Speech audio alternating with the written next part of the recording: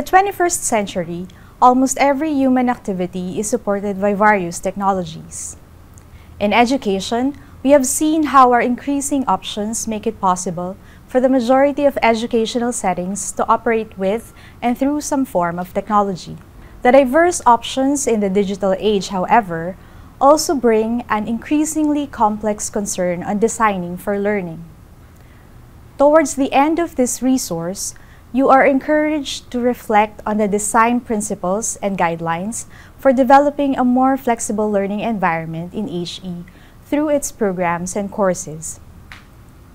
For this lecture, I will touch on the potential of technology use for higher education, make a case for embracing learning design as the latest iteration of instructional design in developing and implementing higher education programs and courses, and present two broad design features to be adopted if the goal is to have a more flexible teaching and learning environment. Education experts and organizations like UNESCO have acknowledged innovations in technology as important drivers of education. But while countries from the Global South continue to face challenges in providing access to technological services, it would be remiss to disregard the potential of what has been and what is increasingly being made available. In the Philippines, the 2023 and early 2024 reports from Electronics Hub and Data Reportal presented more than 70% internet and social media users.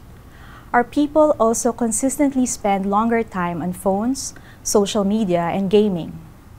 Noting these seemingly simple data, shouldn't we be more open to the idea that the potential power of digital technologies can be harnessed to be of proper use in education? However, increasing technology use for education does not mean that students can always be left to their devices. Instead, teachers play a more distinct role in scaffolding the way students think and how they develop the new kinds of skills they will need for the digital literacies as one educationalist, Diana Laurillard, puts it, which is why instructional design, or the current form learning design, remains critical. ID is defined as the analysis of learning and performance problems and the design, development, implementation, evaluation, and management of instructional and non-instructional processes and resources intended to improve learning and performance in a variety of settings. Aside from being a discipline in itself, ID can be viewed in three ways. It is the systematic process of planning and managing quality instruction, informed by learning theories to achieve learning. Perhaps because of the iterative nature of the process, it can be viewed as the science of creating detailed specifications for the development, implementation, evaluation, and monitoring of situations that facilitate learning of content. But despite being a process with detailed steps, the reality is that an ID or LD work can begin at any point in the design. In looking at LD as a process, there needs to be a form of six categories of activities or practices. Regardless of the curriculum design model that the institutions adopt, be it Gagne's event of instruction, the ADDIE model, or backward design, for example there needs to be a form of analysis of learning needs and goals. It includes designing for learning through the development of learning materials and activities within a delivery system that can meet these learning needs, and a pilot run and evaluation of all instruction and learner activities. For the remaining parts of this presentation, the LD activity or practice will be reviewed as learning design procedures within the HE setting and with emphasis on how instructional media and technologies may come into the picture. Whatever teaching and learning environment one may have or would like to foster in relation to technology use in education, there needs to be a form of analysis of learning and performance problems. Among many best practices, you will have to see whether the learning needs of the current and previous students or graduates are analyzed. Look into the discussion about attempts to reflect on institutional context, including current resources, support systems, and educational and teaching philosophies to see how these influence the design decisions. You may also access reports of how disciplinal, national, and global HE frameworks are considered in the design. When it is time for the design and development phases of the work, and even when reviewing programs and courses, regardless of what and how technology will be used, the principles of designing good teaching and learning should be clarified and or evident. When developing or reviewing programs and courses, at least two ideas should guide teachers in making wiser technology choices. First is to align technology with pedagogy. And second, focus on what students will do with the technology and or media. First is on aligning technology with pedagogy. LD principles would always advocate for pedagogical purposes to drive the form of solutions to challenges in designing for learning while also acknowledging that the choices of technological resources are important, as they may influence how one learns in a digital age. This implies that HEIs should still be guided by earlier lessons and best practices in curriculum and course design, such as OBE and the adoption of different OBE approaches and models. For example, constructive alignment or CA can still inform the design if the focus is on what and how students are to learn. The design still has to clarify what is to be learned or the topic, how it is to be learned, and to what standard. The relevant learning resources and media forms in learning the topic, and the things that will inform that students have learned that topic must be stated. And these can be addressed in the teaching learning activities or TLAs and in the assessment task or AT.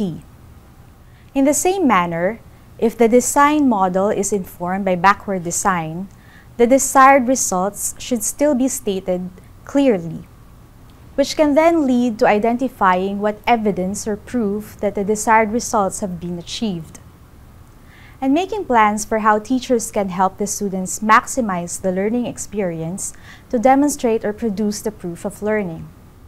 All these stages will inform how the various media and technologies, from low to high, soft to hard technologies, and single and richer media, can help in the design of the learning experience. Second is on what students will and can do with the technology or media.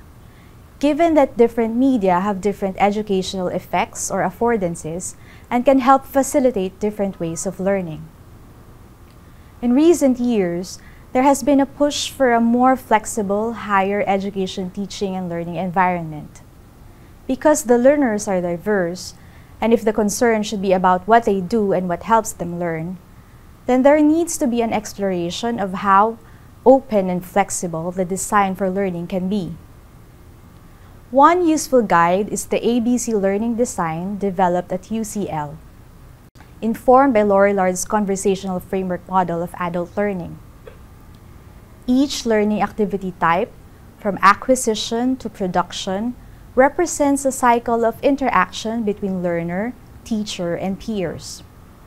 And an exploration of how various media and technologies may help foster a learning type.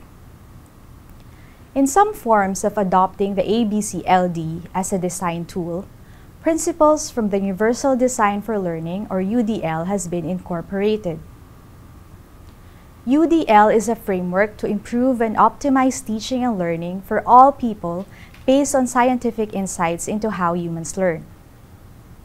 In adopting UDL, the principles of multiple means of engagement, representation, and action and expression are shown in the design of any programs and courses as a way to be more flexible and accommodating of diverse learners. So what are examples of the concrete UDL guidelines and checkpoints?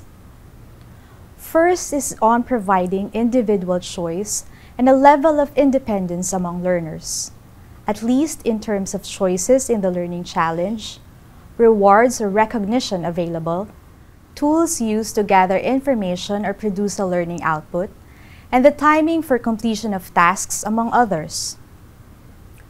Next is on the alternatives or options in how students may perceive and understand any information or content presented through various media forms and any signposts or guides to help process such information.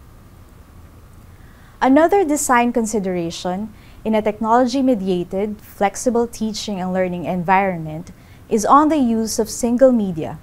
For example, a text-based article to read or a podcast. To rich media such as interactive videos, multimedia presentations, or an entire course site accessible via mobile phones. This continuum from Bates is just one of the examples in classifying media and technologies. But the key takeaway is that a vast array of media with distinct potential for affordances is accessible for educational purposes. The educational design and situational use of technology will determine whether the media affordances and distinctive qualities will be maximized. The tendencies, attitudes, and preferences of the students may also hinder or help the effective use of particular affordances of various media. Overall, the dimensions of each media and technology must be evaluated against the learning outcomes while recognizing the potential of a previously unexplored medium or application to achieving these same outcomes in a more efficient but meaningful way. The concern covers three things. What the students must and can do in any learning setting to achieve a desired outcome, how, if possible, a technology and media can help them achieve an outcome in a more relevant, engaging, and authentic manner, and lastly, how teachers adopt an organized method to shape students' learning while still developing the students' self-directedness. As for the second half of the practices in an LD process, one basic reminder is to look into whether a decision model is established, informed by relevant institutional and national policies, standards, and guidelines, as well as quality assurance, quality enhancement, and accreditation frameworks.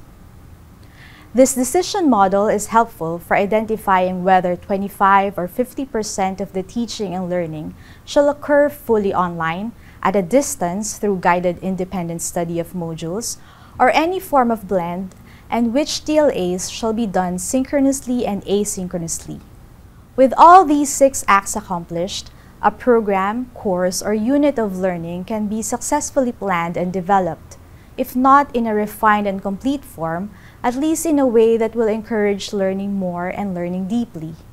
Any advancements in technology will not alter this, but only enrich the students' and teachers' options, noting that the students can get the information and the tools to access information and generate knowledge even when outside the formal class. I hope this lecture can help guide you in analyzing any HE program or course in terms of how they are designed if the goal is to ensure that they are indeed designed to optimize learning in a technology-mediated, flexible learning environment.